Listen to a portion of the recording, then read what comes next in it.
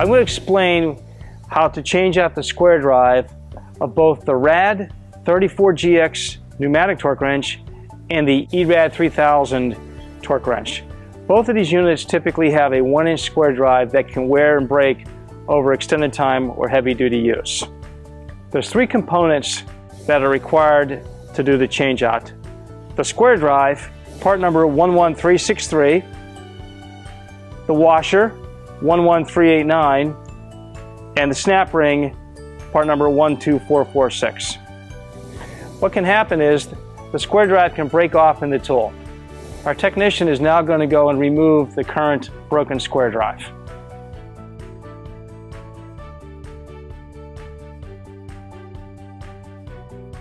He's utilizing a flathead screwdriver. He's re removing the retaining ring. The reason you want to replace the retaining ring is often becomes oblong during removal.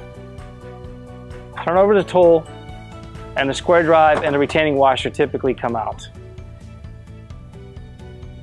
Just going to go ahead and replace this now with a new unit.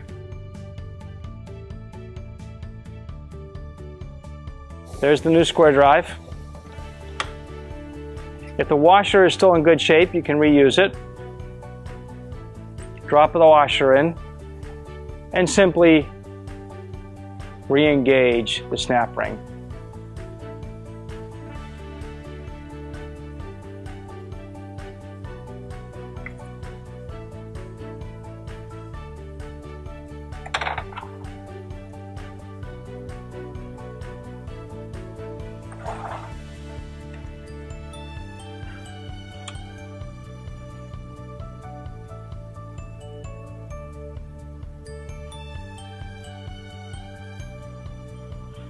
This is a field fixable replacement item.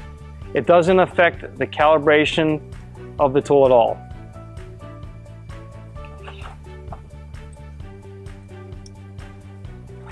Check to verify the square drive is in securely and you're ready to put the tool back in use.